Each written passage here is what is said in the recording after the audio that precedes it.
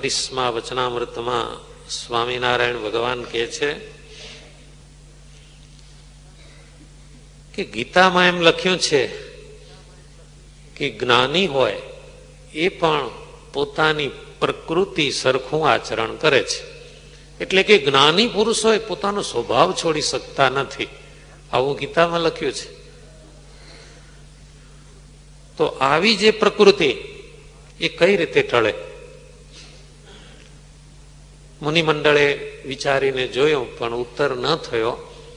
એટલે મહારાજ પોતે જ આ પ્રશ્નનો ઉત્તર કરવા લાગ્યા કે સ્વભાવ મુકાવ્યા સારું સંતો ઉપદેશ કરે, એના ઉપર બહુ વિશ્વાસ હોય. સંત ઉપદેશ કરનાર સંત ઉપર પ્રેમ હોય. અને આ સંતો મને વઢે છે ને એ મારા હિત માટે છે, એમ સમજતો હોય. તો સ્વાભાવિક પ્રકૃતિ જાય. પરમેશ્વર તથા સંત સ્વભાવ ટાળવા સારું ગમે એવો તિરસ્કાર કરે, પણ જે મનમાં દુખાય નહીં, એનો સ્વભાવ જાય. બાકી તો કોઈનો સ્વભાવ જતો નથી. દાદા ખાચરના દરબારમાં શ્રીજી મહારાજની માણકી ઘોડીની સાથે બીજા પાર્ષદો કાઠી દરબારોના ઘોડા પણ બાંધેલા. એમાં એક ગોળીની એક ખરાબ ટેવ પડી ગયેલી. લાત મારે. હવે દાદા ખાચરના દરબારમાં તો આખો દિવસ અવર જવર ચાલુ જ. હરિભક્તો આવે, સંતો આવે, બાર ગામથી ભક્તો આવે, અને ગોળી લાત મારે એટલી કેવી હોય ખબર છે? તો તરત જ ત્યાં ને ત્યાં જ ફ્રેક્ચર. એટલે શ્રીજી મહારાજને એમ કે આ ગોળીનો સ્વભાવ બહુ ખરાબ છે.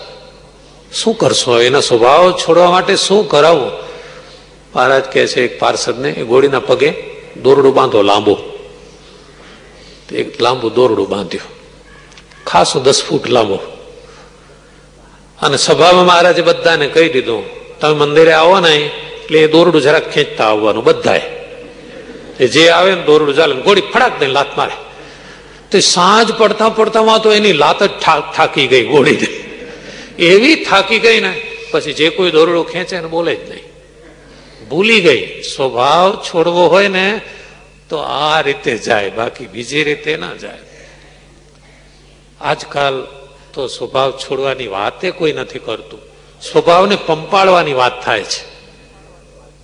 સ્વભાવને પંપાળવાની વાત થાય છે, પણ છોડવાની વાત નથી થતી. શ્રીજી મહારાજ કે છે, ગમે તેવા હોય, પણ સ્વભાવ તો ત્યારે જ જાય કે ભગવાન કે સંત એ સ્વભાવ છોડવા માટે તિરસ્કાર કરે તો એ સંતને ભગવાનને ગુણકાર એને વિશે ગુણ લે કે આ મારા હિતકારી છે, મારો સ્વભાવ મુકાવવા માટે કેટલા બધા પ્રયત્નશીલ રહે છે. શ્રીજી મહારાજે સ્વભાવ છોડવાનો ઉપાય બહુ સરળતાથી બતાવ્યો છે કે જે તમને વઢે તો રાજી થવું, મને વઢે છે ને. મારો આ સ્વભાવ છે, માટે વઢે છે. નહીં તો કોઈ વઢે? મારો આ સ્વભાવ જશે, પછી મને નહીં વઢે? કપડામાં પહેલા બધા ધોકા દેતા. જ્યાં સુધી મેલ ન જાય, ત્યાં સુધી કપડાને ધોકાનો માર સહન કરવો પડે. એમ જ્યાં સુધી સ્વભાવ ન જાય, ત્યાં સુધી જ સંતો વઢે. જો સ્વભાવ જતો રહે, તો પછી એને સંતો ક્યારેય વઢતા નથી. સ્વભાવ જ અવરોધ રૂપ બને છે. ભગવાનની ભક્તિમાં, ભજનમાં, સત્સંગમાં. શ્રીજી મહારાજ કહે છે, એવા સ્વભાવને અમારા ભક્તોએ સમજી વિચારીને છોડવા સ્વામિનારાયણ ભગવાન.